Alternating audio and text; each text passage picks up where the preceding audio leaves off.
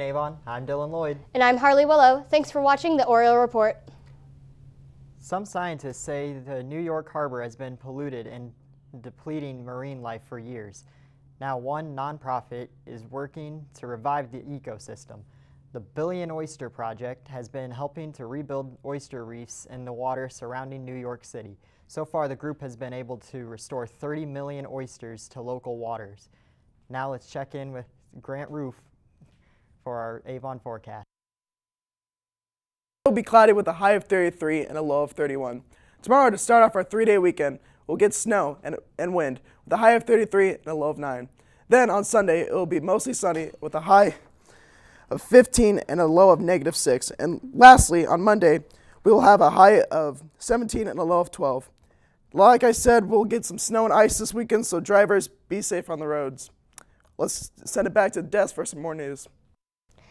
We begin with a look at activities you can find to celebrate MLK Day on Monday. According to the Indy Star, on Monday you can get free admission at Conner Prairie from 10 to, from 10 to 5.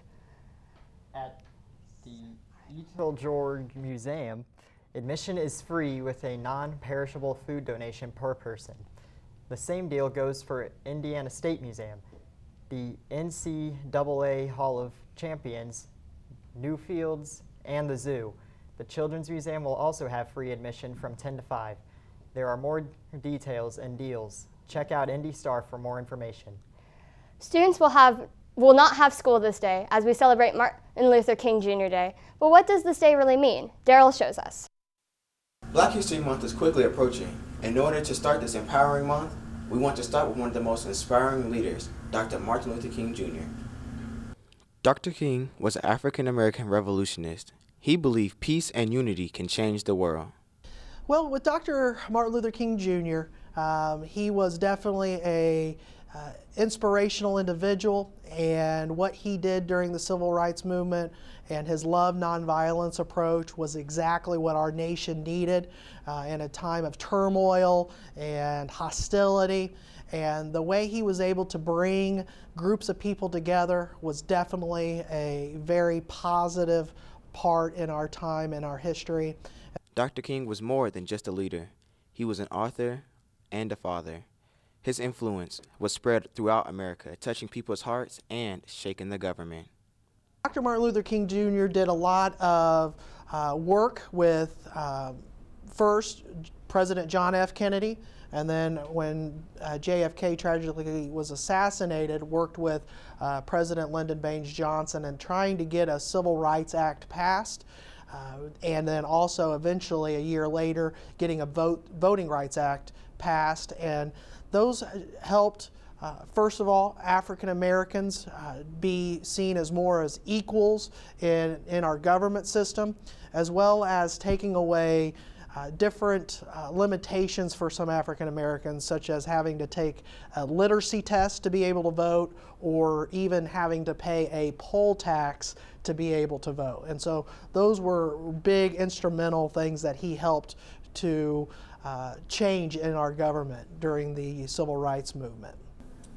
outside the revolution, Dr. King, I mean, he was first and foremost, he was a minister. Um, he was a preacher, and uh, I think his work in the church and um, spreading the gospel, I think that was his number one, uh, what, what he saw his number one purpose to be.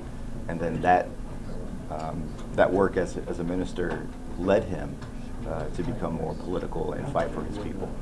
Dr. King was once arrested in Birmingham, Alabama, because he was leading an anti segregation march. Not only him, but the local people were attacked unlawfully.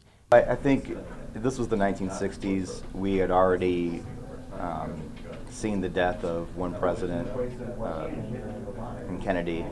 Unfortunately, uh, Dr. King would be assassinated, and then just a few months later, you would have Kennedy's brother who would be assassinated. And this was Americans were were scared. They were they were very upset um, that all of these political leaders were being just killed, and I think it led Americans, all Americans, especially white Americans, come to a, a, a conclusion that we need to end this violence and we need to find solutions uh, and end the division, especially the racial division in America. Dr. King was one of the most influential leaders of the civil rights movement. and a model citizen for those who listen to him speak. Now a message from Dr. King himself. So even though we face the difficulties of today and tomorrow, I still have a dream. It is a dream deeply rooted in the American dream. I have a dream mm-hmm. that one day this nation will rise up and live out the true meaning of its creed. We hold these truths to be self-evident that all men are created equal. Next month, we will have a special show dedicated to Black History Month. For AHS News, I'm Daryl Hardy. And for sports tonight, at 6 p.m., boys JV and freshman basketball teams will be away at Fishers. At 7.30 p.m., boys varsity basketball is also away at Fishers. On Saturday at 9 a.m., boys varsity wrestling will be away for the JV HCC invite and Warren Central JV Super Duels at 1 p.m.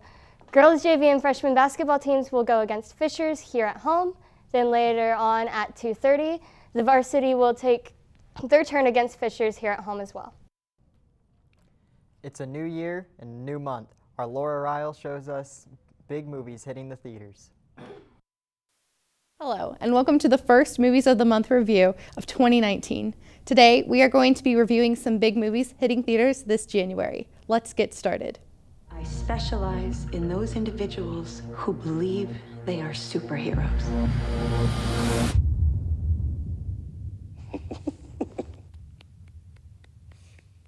Good for you. Director M. Night Shyamalan brings together the narratives from his two original productions, Unbreakable and Split, into one explosive thriller known as Glass. From Unbreakable, Bruce Willis and Samuel L. Jackson are back as David Dunn and Elijah Price, also known as Mr. Glass. Also joining from Split is James McAvoy as Kevin Wendell Crumb and his multiple identities that reside within him. Following the conclusion of Split, Price finds Dunn pursuing Crumb's superhuman figure as the Beast in multiple encounters while Price emerges as an orchestrator who holds critical secrets to both men. There's one thing I know about the world. It's not the little things that matter. It's the tiny things. If you weren't as interested in the last film, this heartwarming, family-friendly movie may be more up your alley. A Dog's Way Home follows the life of Bella, a puppy who finds her way into the arms of Lucas, a young man who becomes her owner. Bella is then accidentally separated from her human companion and finds herself on a 400 mile journey to reunite with her owner. This movie is sure to leave you entertained and may have you shed some tears. You need to prove you're looking for work. I've been looking, trust me. Three signatures by tomorrow. Upside, starring Kevin Hart and Bryan Cranston, brings together two completely different people in one epic comedy. Philip is a wealthy quadriplegic who needs a caretaker to help him with his day to day routine in his New York penthouse. He decides to hire Del, a struggling parolee who's trying to reconnect with his ex and son.